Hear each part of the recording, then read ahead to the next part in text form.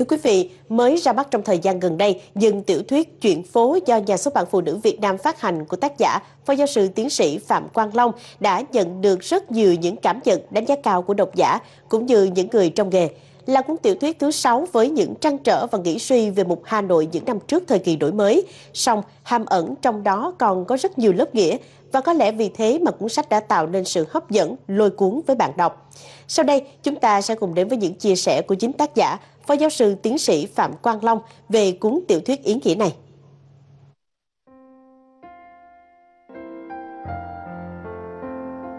Người ta gọi chuyện phố là một tự sự về đô thị đương đại Nhưng thực ra đó chỉ là những gì mà tôi nhìn thấy, nghe thấy Tôi hiểu được đến đâu tôi nói đến đó về văn hóa Tràng An, văn hóa phố cổ, văn hóa Hà Nội trong đời sống đương đại. Thực chất mà nói là tôi quan tâm đến những vấn đề này từ rất lâu có những cả lý do công việc và những lý do rất ngẫu nhiên. Nhưng đặc biệt nhất là gần 10 năm tôi công tác ở Hà Nội làm những chương trình về văn hóa Hà Nội bảo tồn văn hóa Hà Nội và tìm câu hỏi trả lời là người Hà Nội anh là ai thì tôi càng ngày càng thấy rằng nó có một sức hấp dẫn ghê gớm nhưng đồng thời nó cũng đang mai một dần. Và từ đó tôi suy ngẫm, tôi viết cuốn này nó cũng rất nhanh, nó chỉ trong vòng khoảng 2 tháng thôi. Bởi vì tất cả những gì tôi kể ra đều là những cái có thực, cũng hoàn toàn là những gì mà mình cảm nhận và chiêm nghiệm thôi. Tôi viết mỗi nhân vật nó có một cái hấp dẫn riêng của nó. Ở trong của tôi có hai ông trí thức nổi tiếng, đều họ Phan cả. Tôi đều gọi bác Phan cả.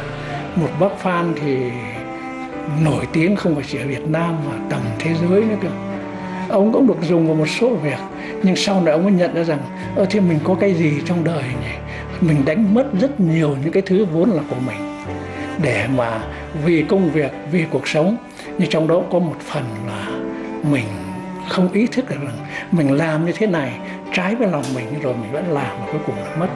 Còn có những nhân vật ông Phan khác thì nói là đúng cả một đời ông ấy gặp vô cùng những trắc trở, những khó khăn, những răng mắc không phải do ông gây ra nhưng ông lựa chọn con đường, ông ấy đi, ông giữ nguyên như thế ông sống thanh thản, ông mang lại nhiệt huyết cho người khác và ông như một nguồn cảm hứng ấy.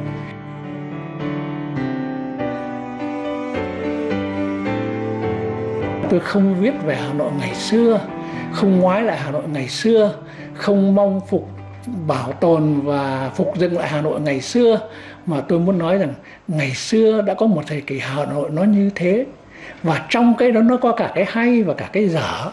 Thế thì bây giờ nó hòa nhập vào cuộc sống hiện nay, thì cái hay nào còn thì giữ.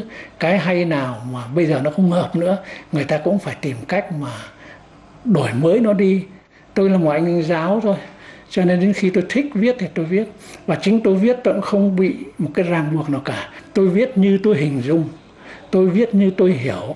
Và tôi nghĩ rằng là những người cứng tuổi thì có thể thích đọc tôi.